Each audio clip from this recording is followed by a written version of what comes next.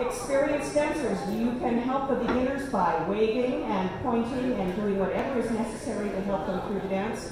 What we say in Contra is better never than late.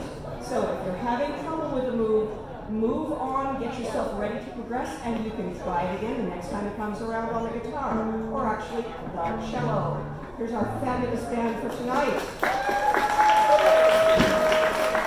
Fabio Rose on keyboard, Bravo. And Colleen